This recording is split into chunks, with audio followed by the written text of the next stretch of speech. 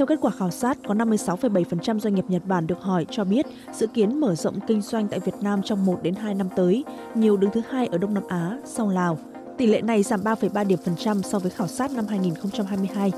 Phần theo nhóm ngành, tỷ lệ doanh nghiệp ngành chế tạo muốn mở rộng hoạt động là 47,1%, phi chế tạo là 65,5%. Riêng 100% doanh nghiệp bán lẻ Nhật Bản ở Việt Nam được hỏi đều có kế hoạch mở rộng.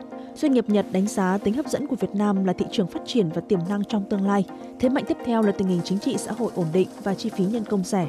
Tuy nhiên, các rủi ro chính khiến họ e rè là phức tạp trong các thủ tục hành chính, chi phí nhân công tăng và hệ thống pháp luật chưa hoàn thiện, vận hành thiếu minh bạch.